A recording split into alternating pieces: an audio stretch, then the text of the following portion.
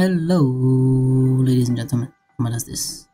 This video is going to be day 4, pack number 4 of Pokemon Sword and Shield Brilliant Stars. So without further ado, let's get it. Alright guys, so this is day number 4.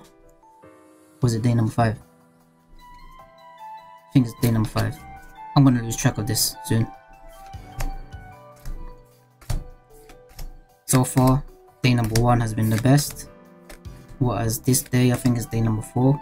Could be day number 5.